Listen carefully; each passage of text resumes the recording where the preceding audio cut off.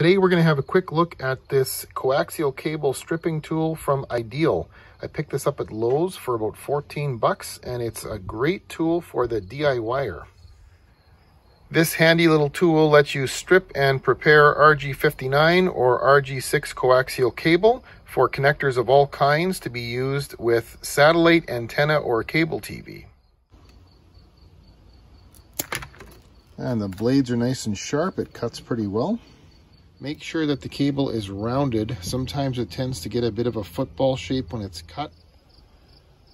Have to make two cuts to get the cable ready for a connector.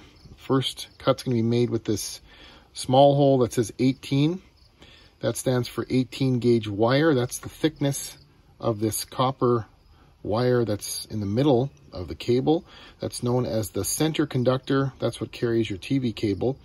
And that blade's gonna cut through all this material, this white insulation and the outer black jacket to expose that copper wire.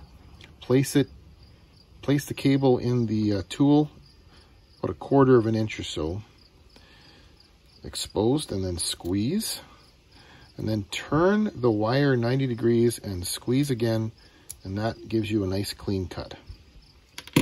Now the next cut we're going to use the RG6 hole right here because that's the thickness of our cable. Place that in the blade about a quarter of an inch and then squeeze and then just rotate the tool around the cable a little bit to cut that jacket away and then you can just pull it off.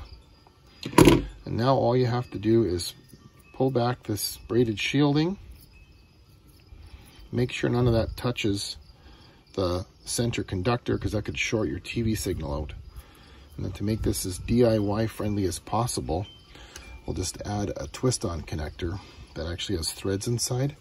And that will just bite into the jacket of the cable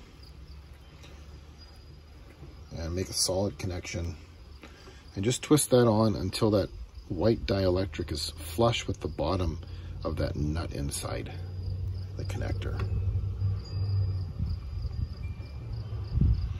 I think that's good enough. And that's on there solid, ready to be installed.